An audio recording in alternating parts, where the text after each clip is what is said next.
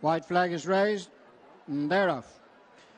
Defy Logic on the inside with Champagne Fever. And these are tracked in the early stages. Road to Riches, and on the outside is Art of Logistics, Trifolium, and Ted Veal. Out over the first, and making the way on up a race in front of the stand. Champagne Fever, the grey. On the inside, Defy Logic. And they're being tracked in third place by Trifolium. Just after them is Art of Logistics racing in fourth place, and then comes Road to Riches, and a couple of lengths then to Ted Veal, who's the back marker of the six, racing on away from the stands now to face up to fence number two. Defy Logic and Mark Walsh on the inside with Champagne Fever, Ruby Walsh alongside. They're tracked by Trifolium, Davy Russell, and then Art of Logistics, Bryan Cooper on the outside of Road to Riches, and Paul Carberry with the back marker of the six. Ted Veal and Robbie Power as they race on away from the stands towards fence number three. No change in the order.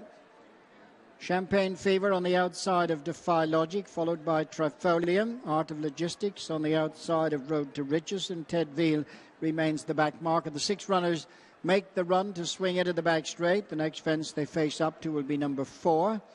And Defy Logic and Champagne Fever racing along head to head. Closely attended just two lengths back by Trifolium and then a break of three. Art of Logistics on the outside of Road to Riches and the back marker remains Ted Veal. First fence now down the far side, number four. Defy Logic.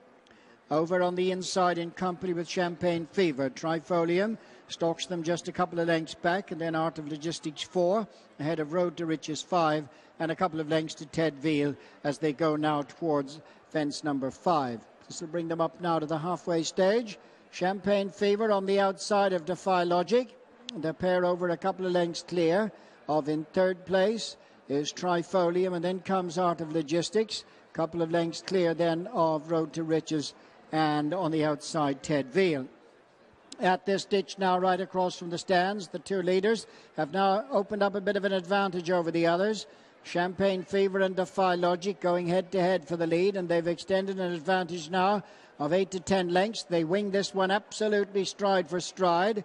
And on the inside, Defy Logic alongside Champagne Fever, well clear of Trifolium Art of Logistics and Ted Veal, and they're clear of Road to Riches. Four fences left to jump, and the two leaders still absolutely spring-heeled over that. They're well clear of the others as they race now to the last of the ditches, three from the finish. Defy Logic and Champagne Fever. They've been going toe-to-toe down the back straight, and they remain clear of Trifolium, Art of Logistics, and Ted Veal as they go now to the last on the far side. Defy Logic got in a bit close and Champagne Fever on the outside, a very fractional leader, but Defy Logic on the level, back on terms.